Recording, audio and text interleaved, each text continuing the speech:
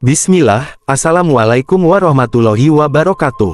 Selamat datang di channel kami yang senantiasa berupaya menyampaikan hikmah dan pelajaran dari segala peristiwa.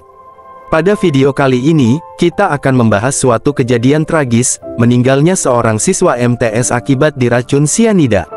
Melalui peristiwa ini, mari kita merenung dan mengambil pelajaran, mengingat kejadian serupa yang pernah dialami Rasulullah Shallallahu Alaihi Wasallam oleh wanita Yahudi. Siswa MTS meninggal diracun sianida, ingat Rasulullah Shallallahu Alaihi Wasallam pernah diracun wanita Yahudi.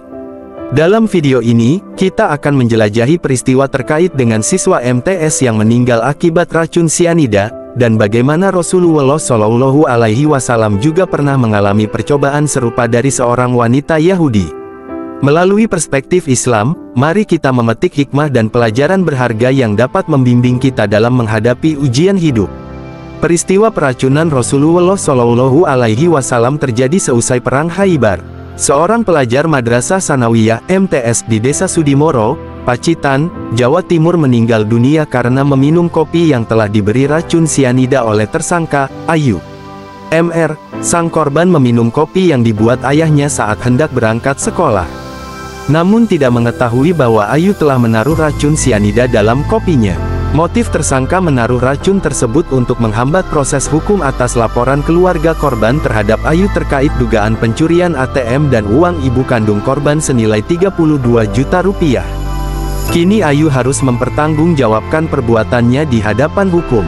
Kasus meracuni seseorang dengan niat membunuh juga pernah terjadi pada Rasulullah Shallallahu Alaihi Wasallam. Dalam seri Sirah Nabawiyah, periode Madinah, era baru serta Perang Haibar dan Wadil Qura, karya Syekh Syafiur Rahman Al-Mubarak Furi menceritakan apa yang disebut peristiwa kambing beracun. Ketika itu Rasulullah Shallallahu Alaihi Wasallam menjadi korban percobaan pembunuhan dengan cara diracun usai kemenangan perang Haibar. Waktu itu datang istri Salam bin Masikam, Zainab binti Al Harits yang merulama wanita Yahudi saat Rasulullah Shallallahu Alaihi Wasallam merasakan ketenangan berada di Haibar usai penaklukan. Ketika itu, Zainab memberikan hadiah kambing panggang kepada Rasulullah Shallallahu Alaihi Wasallam. Zainab menaburkan racun yang banyak di bagian kaki depan kambing setelah sebelumnya menanyakan bagian mana yang disukainya. Namun Zainab tetap meracuni semua bagian kambing panggangnya. Saat kambing panggang itu dihidangkan, Rasulullah Shallallahu Alaihi Wasallam langsung mengambil bagian kaki depan dan mengunyahnya.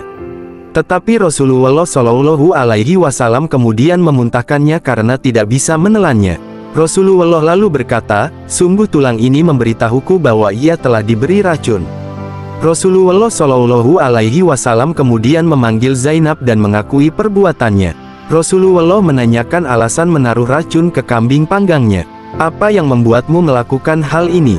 Aku berkata di dalam hatiku, jika ia seorang raja, aku terbebas darinya, dan jika ia seorang nabi, maka tentu ia akan diberitahu, Rasulullah kemudian mengampuninya.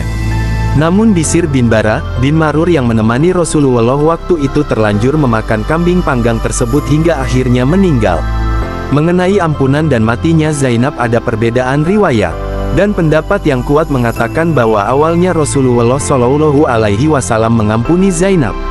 Tetapi ketika tahu Bisir meninggal, Rasulullah Shallallahu Alaihi Wasallam menghukum mati Zainab dengan cara kisas. Momen-momen seperti ini mengajarkan kita untuk selalu bersyukur, berhati-hati, dan merenungi kehidupan Rasulullah. Shallallahu alaihi wasallam yang penuh dengan ujian dan hikmah. Semoga video ini memberikan pemahaman dan inspirasi islami yang membimbing kita dalam menghadapi cobaan dan menguatkan iman. Di balik kisah, siswa MTS meninggal diracun sianida, Ingat Rasulullah Shallallahu Alaihi Wasallam pernah diracun wanita Yahudi, terdapat beberapa hikmah yang dapat menjadi sumber refleksi dan bimbingan. 1. Ujian dan kesabaran. Peristiwa ini mengingatkan kita bahwa kehidupan ini penuh dengan ujian. Siswa MTS yang menghadapi cobaan racun sianida dan Rasulullah Shallallahu Alaihi Wasallam yang pernah diracun oleh seorang wanita Yahudi menunjukkan kebutuhan akan kesabaran dan keteguhan hati di dalam menghadapi cobaan hidup.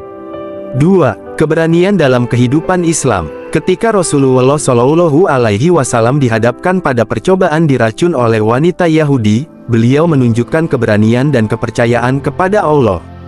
Kita diajak untuk memetik hikmah keberanian tersebut dan menerapkannya dalam menjalani kehidupan Islam sehari-hari. 3. Peran hikmah dalam setiap peristiwa Dalam Islam, setiap peristiwa dianggap membawa hikmah dan pelajaran. Siswa MTS yang meninggal di racun sianida juga dapat mengingatkan kita bahwa dalam setiap ujian terdapat hikmah yang mungkin belum kita pahami secara langsung. 4. Kewaspadaan dan hati-hati Peristiwa ini memberikan pelajaran tentang pentingnya kewaspadaan dan kehati-hatian dalam kehidupan sehari-hari. Belajar dari kejadian tragis semacam ini dapat membantu kita untuk lebih berhati-hati terhadap lingkungan dan keamanan diri sendiri. 5. Keterhubungan dengan sejarah Memahami bahwa Rasulullah Shallallahu Alaihi Wasallam sendiri mengalami percobaan serupa menunjukkan keterhubungan kita dengan sejarah Islam. Ini memberikan rasa tanggung jawab dan penghargaan terhadap ajaran-ajaran Rasulullah Shallallahu Alaihi Wasallam yang dapat kita teladani dalam kehidupan kita. Melalui hikmah ini, diharapkan kita dapat memandang setiap peristiwa dalam hidup sebagai peluang untuk berkembang, mendalamkan iman, dan menguatkan hubungan kita dengan Allah Subhanahu wa Ta'ala. Terima kasih telah menyaksikan video ini. Semoga pemahaman tentang kejadian siswa MTS yang meninggal di racun sianida bersamaan dengan peristiwa Rasulullah Shallallahu Alaihi Wasallam, menjadi sumber inspirasi dan introspeksi diri. Jangan lupa untuk like, share, dan subscribe agar kita dapat terus berbagi hikmah Islam. Wassalamualaikum warahmatullahi wabarakatuh.